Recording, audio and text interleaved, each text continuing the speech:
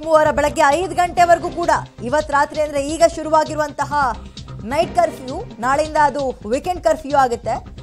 ಸೋಮವಾರ ಬೆಳಗ್ಗೆ ಐದು ಗಂಟೆ ತನಕ ಕೂಡ ವಾರಾಂತ್ಯ ನಿರ್ಬಂಧ ಇದೆ. ರಾತ್ರಿ ಎಂಟು ಗಂಟೆಯಿಂದಲೇ ಬೇಗ ಬೇಗ ಮನೆ ಸೇರ್ಕೊಂಡಿದ್ದಾರೆ ಆಲ್ರೆಡಿ ಜನ. ಇಪ್ಪತ್ನಾಲ್ಕು ಗಂಟೆಯೂ ಎದ್ದಿರ್ತಾ ಇದ್ರು ಬೆಂಗಳೂರಿನ ಜನ ಆಲ್ಮೋಸ್ಟ್ ಬಟ್ ಈಗ ಬಹುತೇಕ ಸ್ತಬ್ಧವಾಗಿದೆ.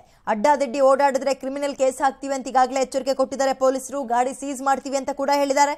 ಇದರ ಮಧ್ಯ ಎಂಟು ಗಂಟೆಯಿಂದಲೇ ತರಾತುರಿಯಲ್ಲಿ ಜನ ಮನೆಗೆ ಸೇರ್ಕೊಳ್ಳೋ ಒಂದು ಯೋಚನೆಯಲ್ಲಿ ಕೂಡ ಇದ್ರು. ಅದರ ಮಧ್ಯೆ ಇವು ಕೆಲವೊಂದು, ಅಲ್ಲೊಂದು, ಇಲ್ಲೊಂದು ಗಾಡಿಗಳು ಸಿಕ್ಕಿವೆ. ಹತ್ತು ಗಂಟೆ ಆದ ನಂತರವೂ ಯಾಕೆ ಓಡಾಡ್ತಿದ್ದೀರಿ ಅಂತ ಪೊಲೀಸರು ಅಲ್ಲಲ್ಲೇ ಅಡ್ಡ ಹಾಕಿ ಜನರನ್ನ ಕೇಳ್ತಾ ಇದ್ದಾರೆ. ಮೆಜೆಸ್ಟಿಕ್ಗೆ ಹೋದ್ರೆ ಜನಜಾತ್ರೆ ಮೆಜೆಸ್ಟಿಕ್ನಲ್ಲಿ ವೀಕೆಂಡ್ ಲಾಕ್ಡೌನ್ನಿಂದ ಜನ ಆತಂಕಗೊಂಡು ಊರುಗಳಿಗೆ ಸೇರ್ಕೊಳ್ಳೋರ ಸಂಖ್ಯೆ ಲಗೇಜ್ ಸಮೇತ ಜಾಸ್ತಿ ಇದೆ.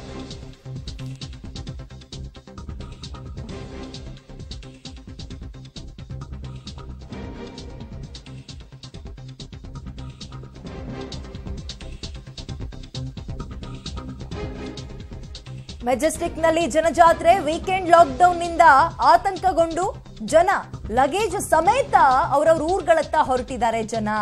ಬಸ್ಗಳಿಗಾಗಿ ಕಾದು ನಿಂತಿದ್ದಾರೆ. ಸಂಜೆ ಸಮಯದಲ್ಲಿ ಸ್ವಲ್ಪ ಪರವಾಗಿಲ್ಲ ಅನ್ನುವಂತಹ ಸಿಚುವೇಶನ್ ಇತ್ತು, ಸಂದರ್ಭ ಇತ್ತು ಬಟ್ ಈಗ ಹಾಗಿಲ್ಲ. ಪ್ಲಾಟ್ಫಾರ್ಮ್ಗಳಲ್ಲಿ ರಶೋ ರಶು, ಮತ್ತೊಂದು ಕಡೆ ರಾಜಾಜಿನಗರದ ಮೆಟ್ರೋ ಸ್ಟೇಷನ್ ಬಳಿ ಕೂಡ ಜನಜಾತ್ರೆ. ಮೆಜೆಸ್ಟಿಕ್ ಒಂದು ಒಂದ್ ರೀತಿ ಜನ ಸೇರ್ಕೊಬಿಟ್ಟಿದ್ದಾರೆ. ಸಂಜೆ ಸಂದರ್ಭದಲ್ಲಿ ಗಮನಿಸ್ತಾ ಇದ್ದೀರಿ, ಮಗದೊಂದು ಕಡೆ ಟ್ರಾಫಿಕ್ ಜಾಮ್ ಯಾಕಂತ ಹೇಳಿದ್ರೆ ಹತ್ತು ಗಂಟೆ ಒಳಗೆ ಮನೆಗೆ ಸೇರ್ಕೋಬೇಕು ಅಂತ ಹೇಳಿದ್ದಾರೆ. ಇಲ್ಲದ್ರೆ ಪೊಲೀಸರು ಅಡ್ಡ ಹಾಕ್ತಾರೆ, ಪ್ರಶ್ನೆ ಮಾಡ್ತಾರೆ, ಫೈನ್ ಹಾಕ್ತಾರೆ, ಕೇಸ್ ಹಾಕ್ತಾರೆ. ಹಾಗಾಗಿ ಅಷ್ಟರೊಳಗೆ ಮನೆಗೆ ಸೇರ್ಕೊಬಿಡೋಣಪ್ಪ ಅನ್ಕೊಂಡಂತಹ ಬೆಂಗಳೂರಿಗೆ ಒಂದು ಸ ಒಂಥರ ಶಾಕ್ ಆದಿತ್ತು. ಅದೇನಪ್ಪ ಅಂದ್ರೆ ಟ್ರಾಫಿಕ್ ಜಾಮ್ ಮಗದೊಂದು ಕಡೆ ಮೆಜೆಸ್ಟಿಕ್ನಲ್ಲಿ ಸಂಜೆ ತನಕ ಸ್ವಲ್ಪ ಸಮಾಧಾನದ ವಾತಾವರಣ ಇತ್ತು. ಜನ ಏನು ಅಷ್ಟೊಂದು ಹೆಚ್ಚಾಗಿರಲಿಲ್ಲ ಬಟ್ ಈಗ ಜಾಸ್ತಿ ಆಗ್ತಿದ್ದಾರೆ. ಓಕೆ ಈಗ ಬೆಂಗಳೂರಿನ ಚಿತ್ರಣವನ್ನ ನಿಮ್ಮ ಮುಂದೆ ಇಡ್ತಾ ಹೋಗ್ತೀವಿ. ನಮ್ಮ ಪ್ರತಿನಿಧಿಗಳು ಮಾಹಿತಿ ಕೊಡ್ತಾ ಹೋಗ್ತಾರೆ. ಅರುಣ ಮತ್ತು ನಾಗೇಶ್. ಮೊದಲಿಗೆ ಅರುಣ, ಸದ್ಯ ಯಾವ ಸ್ಥಳದಲ್ಲಿದ್ದೀರಿ? ಅಲ್ಲಿನ ಚಿತ್ರಣ ಹೇಗಿದೆ? ಈಗ ತಾನೇ ವೀಕೆಂಡ್ ಕರ್ಫ್ಯೂ ಆರಂಭ ಆಯಿತು. ಸೊ ಸದ್ಯದ ಚಿತ್ರಣವನ್ನ ವಿವರಿಸೋದಾದರೆ ಅರುಣ. ಎಸ್ ಇದ್ದ ಇನ್ನೇನು ಎರಡು ಎರಡು ಕ್ಷಣದಲ್ಲಿಯೂ ಕೂಡ, ಅಂದರೆ ಈಗ ಎರಡು ನಿಮಿಷ ಆಯಿತು ವೀಕೆಂಡ್ ಕರ್ಫ್ಯೂ ಕೂಡ ಆರಂಭವಾಗಿದೆ. ಜನ ಕೂಡ ಯಾವ ರೀತಿ ಇದ್ದಾರೆ ಅಂತಂದರೆ ವೀಕೆಂಡ್ ಕರ್ಫ್ಯೂ ಇರೋದು ಅವ್ರಿಗೆ ಲಾಕ್ಡೌನ್ ಆಗುತ್ತೆ ಎನ್ನುವಂತಹ ಒಂದು ಭಯ ಕೂಡ ನಿರ್ಮಾಣವಾಗಿದೆ. ಹೀಗಾಗಿ ಮೆಜೆಸ್ಟಿಕ್ನತ್ತ ಜನ ಜಾತ್ರೆ ಹರಿದು ಬರ್ತಾ ಇದೆ. ನಾನಿವತ್ತು ಮೆಜೆಸ್ಟಿಕ್ನ ಬಸ್ ನಿಲ್ದಾಣದ ಬಳಿ ಇದ್ದೇನೆ. ನೋಡಬಹುದಾಗಿದೆ ಫುಲ್ ಪ್ಲಾಟ್ಫಾರ್ಮ್ ತುಂಬ ಕೂಡ ಜನ ಜನ ಜಾತ್ರೆ ನಡೆದಿದೆ. ಅಷ್ಟರ ಸಂಖ್ಯೆಯಲ್ಲಿಯೂ ಕೂಡ ಜನ ಬರ್ತಾ ಇದ್ದಾರೆ. ಅದು ಕೂಡ ಗಂಟು ಮೂಟೆ ಸಮೇತವಾಗಿ ಲಗೇಜ್ ಸಮೇತವಾಗಿಯೂ ಕೂಡ ಬರ್ತಾ ಇದ್ದಾರೆ. ಇದು ಆಂಧ್ರಕ್ಕೆ ಹೋಗ್ತಕ್ಕಂತಹ ಒಂದು ಬಸ್ಗಳಿರ್ತಕ್ಕಂತಹ ಒಂದು ಪ್ಲಾಟ್ಫಾರ್ಮ್ ಆಗಿದೆ. ಜೊತೆಗೆ ಕರ್ನಾಟಕದ ವಿವಿಧ ಜಿಲ್ಲೆ ಜಿಲ್ಲೆಗಳಿಗೂ ಹೋಗ್ತಕ್ಕಂತಹ ಒಂದು ಬಸ್ಸಸ್ಗಳಿಗೂ ಕೂಡ ಇದೇ ರೀತಿಯಾಗಿರ್ತಕ್ಕಂತಹ ಒಂದು ರಶ್ ಅನ್ನು ಕಾಣಬಹುದಾಗಿದೆ. ಹೀಗಾಗಿ ಒಂದು ರೀತಿಯ ಜಾತ್ರೆಯ ಸ್ಥಿತಿಯಲ್ಲಿಯೂ ಕೂಡ ಮೆಜೆಸ್ಟಿಕ್ ಕೂಡ ನಿರ್ಮಾಣವಾಗಿದೆ. ಅವರ ಪುಟ್ಟ ಮಕ್ಕಳನ್ನ ಕಟ್ಕೊಂಡು, ಇಡೀ ಒಂದು ಮನೆಯ ಲಗೇಜ್ಗಳನ್ನ ತುಂಬಿಕೊಂಡು ಕೂಡ ಅನೇಕ ಸಂಖ್ಯೆಯಲ್ಲಿಯೂ ಕೂಡ ಜನ ಹೋಗ್ತಾ ಇದ್ದಾರೆ. ಬಸ್ಗಳು ಹನ್ನೆರಡು ಗಂಟೆ, ಹತ್ತು ಗಂಟೆ, ಹನ್ನೊಂದು ಗಂಟೆಗೂ ಕೂಡ ಇದ್ರೂ ಕೂಡ ಏಳು ಗಂಟೆ, ಆರು ಗಂಟೆಗೆ ಬಂದಿರತಕ್ಕಂತಹ ಒಂದು ಜನ ಇದ್ದಾರೆ. ಯಾಕಂತಂದರೆ ಹತ್ತು ಗಂಟೆಗೆ ಇನ್ನೇನು ವೀಕೆಂಡ್ ಕರ್ಫ್ಯೂ ಕೂಡ ಆರಂಭವಾಗುತ್ತೆ ಆ ಸಂದರ್ಭದಲ್ಲಿ ಹೋಗ್ಲಿಕ್ಕೂ ಕೂಡ ಬಿ ಎಂ ಟಿ ಸಿ ಬಸ್ಸಸ್ಗಳು ಇರೋದಿಲ್ಲ ಎನ್ನುವಂತಹ ನಿಟ್ಟಿನಲ್ಲಿ ಬೇಗನೆ ಬಂದ್ಬಿಟ್ಟು ಬಸ್ಗಾಗಿ ಕಾಯುವಂತಹ ಒಂದು ಪರಿಸ್ಥಿತಿ ಕೂಡ ನಿರ್ಮಾಣವಾಗಿದೆ. ಹೀಗಾಗಿ ಅನೇಕ ಸಂಖ್ಯೆಯಲ್ಲಿಯೂ ಕೂಡ ಜನ ಜಾತ್ರೆ ರೀತಿಯಲ್ಲಿ ಮೆಜೆಸ್ಟಿಕ್ ಭಾಸವಾಗ್ತಾ ಇದೆ. ಕೇವಲ ಇದೊಂದೇ ಪ್ಲಾಟ್ಫಾರ್ಮ್ ಅಲ್ಲ, ಪಕ್ಕದಲ್ಲಿರ್ತಕ್ಕಂತಹ ಎರಡೂ ಪ್ಲಾಟ್ಫಾರ್ಮ್ಗಳಲ್ಲಿಯೂ ಕೂಡ ಜನರ ಜಾತ್ರೆ ನಡೆದಿದೆ ಇಲ್ಲಿರ್ತಕ್ಕಂತಹ ಪ್ರಯಾಣಿಕರನ್ನೇ ಮಾತನಾಡ್ತಾ ಹೋಗ್ತೇನೆ. ಯಾವ್ರಿಗೆ ಹೋಗ್ತಾ ಇರೋದು? ನಾವು ಕರ್ನೂಲ್ ಹೋಗ್ತಾ ಇದ್ದೀವಿ. ನಾವು ಕಾಲೇಜೆಲ್ಲ ಲಾಕ್ಡೌನ್ ಆಯಿತು. ಲಾಕ್ಡೌನ್ ಆದರೆ ಈಗ ಇಮಿಡಿಯೇಟ್ ವೆಕೇಟ್ ಮಾಡಬೇಕು ಹಾಸ್ಟೆಲೆಲ್ಲ ಸೊ ನಾವೆಲ್ಲ ಲಗೇಜ್ ತೊಗೊಂಡು ಹೋಗ್ತಾ ಇದ್ದೀವಿ. ಸೊ ವಿ ನಮ್ಮ ಫ್ರೆಂಡ್ಸ್ ಎಲ್ಲರೂ ಆಲ್ರೆಡಿ ದೇ ರೀಚ್ಡ್ ನಾರ್ತಿಂದ ಬಂದಿದ್ದಾರೆ. ನಾವು ಜಸ್ಟ್ ನಾವು ಹತ್ತು ನಿಮಿಷ ಮುಂಚೆ ವಿ ಟಿ ಅವ್ರು ನೋಟಿಫಿಕೇಶನ್ ಕೊಟ್ಟಿದ್ದಾರೆ. ಮಂಡೇಯಿಂದ ಶುರು ಆಗುತ್ತೆ ಆಫ್ಲೈನ್ ಕ್ಲಾಸಸ್ ಅಂತ. ಈಗ ಹೋಗಿ ಮತ್ತೆ ಎರಡು ದಿನ ಆಮೇಲೆ ಬರಬೇಕಂದ್ರೆ ನಮಗೆ ಕಷ್ಟ ಆಗುತ್ತೆ. ನಮ್ಮ ಮನೆಯಲ್ಲಿ ಭಯ ಪಡ್ತಾ ಇದ್ದಾರೆ, ಇಲ್ಲಿ ಬರಬೇಕಂದ್ರೆ. ಕೊಮಿಕ್ರಾನ್ ಜಾಸ್ತಿ ಇದೆ. ಏನೂ ಅರ್ಥ ಆಗ್ತಾ ಇಲ್ಲ. ಸರ್ಕಾರಿ ಏನು ಕರೆಕ್ಟಾಗಿ ಡಿಸಿಷನ್ ಕೊಡ್ತಾ ಇಲ್ಲ ನಮಗೇನು. ವಿ ಟಿ ಅವರು ಏನೋ ಒಂದು ಮಾಡಿಸಿ ನಮಗೆ ಆನ್ಲೈನ್ ಕ್ಲಾಸಸ್ ಕೊಟ್ಟರೆ ಸಖತ್ತಾಗಿರತ್ತೆ. ಅಂದರೆ ನಮಗೆ ಭಯ ಆಗ್ತಾ ಇದೆ. ಹೀಗಾಗಿ ನಾವು ಹೋಗ್ತೇವೆ. ಎರಡು ದಿನದ ನಂತರ ಒಂದು ಬರುವಂತಹ ಯಾವುದೇ ರೀತಿಯಿಂದಲೂ ಕೂಡ ಪರಿಸ್ಥಿತಿ ಇಲ್ಲ ಎನ್ನುವಂತಹ ಮಾತುಗಳನ್ನ ಕೂಡ ಹೇಳ್ತಾ ಇದ್ದಾರೆ. ನೋಡಬಹುದಾಗಿದೆ ಎಂಡ್ವರೆಗೂ ಕೂಡ ಪ್ಲಾಟ್ಫಾರ್ಮ್ನ ದೃಶ್ಯಗಳನ್ನ ಕೂಡ ತೋರಿಸ್ತಾ ಹೋಗ್ತೇನೆ.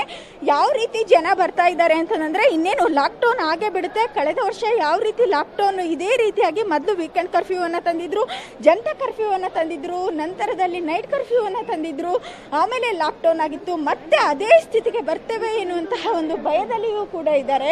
ಹೀಗಾಗಿ ಅನೇಕ ಜನ ಕೂಡ ಅವರವರ ಊರುಗಳಿಗೆ ಹೋಗ್ಲಿಕ್ಕೂ ಕೂಡ ಒಂದು ತಯಾರಿಯನ್ನು ಕೂಡ ನಡೆಸ್ಕೊಂಡಿದ್ದಾರೆ. ಎಷ್ಟು ದಿನ ಆಗುತ್ತೋ ಗೊತ್ತಿಲ್ಲ. ನಮಗೆ ಹೀಗಾಗಿ ಅವರು ಊರುಗಳಿಗೆ ಹೋಗ್ತೇವೆ ಎನ್ನುವಂತಹ ಒಂದು ಮಾತುಗಳನ್ನ ಕೂಡ ಹೇಳ್ತಾ ಇದ್ದಾರೆ. ಯಾರು ಕೂಡ ಒಂದು ದಿನ ಎರಡು ದಿನಕ್ಕೆ ಹೋಗುವಂತಹ ಒಂದು ಲಗೇಜ್ಗಳನ್ನ ತಂದಿಲ್ಲ. ಬದಲಾಗಿ ದೊಡ್ಡ ಒಂದು ಗಂಟು ಮೂಟೆಗಳ ಸಮೇತವಾಗಿ ಬರ್ತಾ ಇದ್ದಾರೆ ವಿದ್ಯಾ. ಎಸ್ ಧನ್ಯವಾದ ಅರುಣ. ತಮಲ ಮಾಹಿತಿಗೆ ಇನ್ನು ನಮ್ಮ ಪ್ರತಿನಿಧಿ ನಾಗೇಶ್ ಕೂಡ ಲೈವ್ ಜಾಯ್ನ್ ಆಗ್ತಿದ್ದಾರೆ ನಾಗೇಶ್ ಈಗ ತಾನೇ ವೀಕೆಂಡ್ ಕರ್ಫ್ಯೂ ಆರಂಭ ಆಗಿದೆ. ಸೊ ಬೆಂಗಳೂರು ಹೇಗಿದೆ? ವಿದ್ಯಾ, ಸದ್ಯ ಬೆಂಗಳೂರಿನಲ್ಲಿ ಅಧಿಕೃತವಾಗಿ ಇವತ್ತಿನಿಂದ ವೀಕೆಂಡ್ ಕರ್ಫ್ಯೂ ಜಾರಿಯಾಗಿರುವಂಥದ್ದು. ಸದ್ಯ ನಾನು ರಾಜಾಜಿನಗರ ಮೆಟ್ರೋ ನಿಲ್ದಾಣದ ಬಳಿ ಇದ್ದೇನೆ.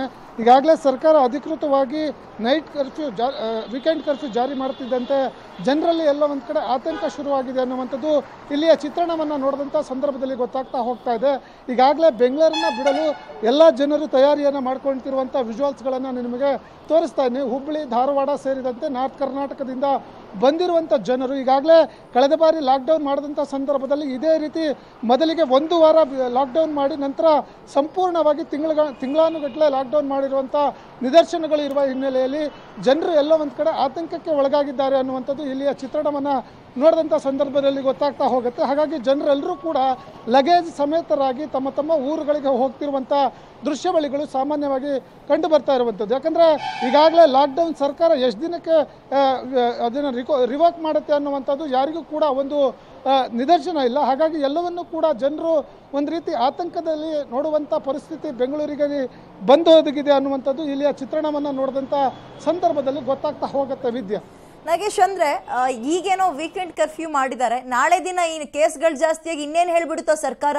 ಅನ್ನೋ ಗೊಂದಲ ಆತಂಕವೇ ಜನರಲ್ಲಿ ಜಾಸ್ತಿ ಇದ್ದಂಗೆ ಕಾಣಿಸ್ತಾ ಇದೆ ಅಲ್ವಾ? ಹಾಗಾಗಿ ಮೆಟ್ರೋ ಸ್ಟೇಷನ್ಗಳಲ್ಲಿ, ಬಸ್ ಸ್ಟ್ಯಾಂಡ್ಗಳಲ್ಲಿ ಜನಸಂಖ್ಯೆ ಜಾಸ್ತಿ ಆಗ್ತಾ ಇರ್ಬೋದು. ಏನಂತೀರಿ ನಾಗೇಶ್? ಖಂಡಿತವಾಗ್ಲೂ. ವಿದ್ಯಾ, ಈಗ ರಾಜಾಜಿನಗರ ಮೆಟ್ರೋ ಸ್ಟೇಷನ್ ಸ್ಟೇಷನ್ನಲ್ಲಿರುವಂಥ ಚಿತ್ರಣ ಇದು. ಈಗಾಗಲೇ ಜನರು ಹತ್ತು ಗಂಟೆ ಆಗ್ತಿದ್ದಂತೆ ಎಲ್ಲರೂ ಕೂಡ ತಮ್ಮ ತಮ್ಮ ಊರುಗಳಿಗೆ, ಖಾಸಗಿ ಬಸ್ಗಳಲ್ಲಿ ಈಗಾಗಲೇ ಟಿಕೆಟ್ ಬುಕ್, ಮುಂಗಡವಾಗಿ ಬುಕ್ ಮಾಡಿಕೊಂಡು ಊರುಗಳಿಗೆ ಹೋಗ್ತಿರುವಂಥ ದೃಶ್ಯಬಳಿಗಳನ್ನು ನಾನು ತೋರಿಸ್ತಾ ಇದ್ದೀನಿ. ಈಗಾಗಲೇ ಸಾಲುಗಟ್ಟಿ ಒಂದು ಕಡೆಯಿಂದಲೂ ಕೂಡ ಬಸ್ಗಳು ನಿಂತಿರುವಂಥದ್ದು. ಜೊತೆಗೆ ಪ್ರಯಾಣಿಕರು ಕೂಡ ಅವರು ಹೋಗುವಂಥ ಈಗಾಗಲೇ ಹುಬ್ಬಳ್ಳಿ ದಾವಣಗೆರೆ, ಬೇರೆ ಬೇರೆ ರಾಜ್ಯದ ಬೇರೆ ಬೇರೆ ಜಿಲ್ಲೆಗಳಿಂದ ಬಂದಿರುವಂಥ ಜನರು ಇಲ್ಲಿಂದ ಹೋಗುವಂಥ ಕೆಲಸಕ್ಕೆ ಮುಂದಾಗಿರುವಂಥದ್ದು ಹಾಗಾಗಿ ಎಲ್ಲ ಒಂದು ಕಡೆ ಈಗಾಗಲೇ ಜನರಿಗೆ ಒಂದು ಸರ್ಕಾರದ ನಿರ್ಧಾರ ಏನು ಅನ್ನುವಂಥದ್ರ ಬಗ್ಗೆ ಯಾವುದೇ ರೀತಿ ಸಮರ್ಪಕವಾದ ಮಾಹಿತಿ ಇಲ್ಲ.